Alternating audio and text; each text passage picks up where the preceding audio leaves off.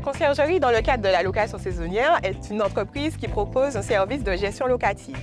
Elle permet de gérer les différentes réservations sur différentes plateformes pour pouvoir maximiser la visibilité du bien.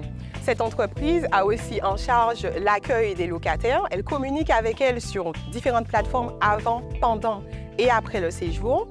Elle a pour mission de gérer l'entretien du bien et la maintenance, tout en gardant à l'esprit l'optimisation du revenu locatif.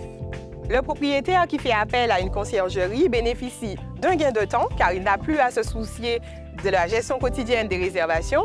Il a aussi une tranquillité d'esprit, ce qui n'a plus à se soucier de la sécurité et des imprévus qui peuvent arriver pendant le séjour. Il se repose en fait sur l'expertise professionnelle du concierge qui connaît et maîtrise les plateformes de réservation telles que Airbnb et Booking. Il s'appuie sur la qualité de service de la conciergerie, ce qui est primordial pour obtenir de bonnes évaluations, des distinctions telles que le statut de super haute qui maximise les réservations et donc le revenu locatif.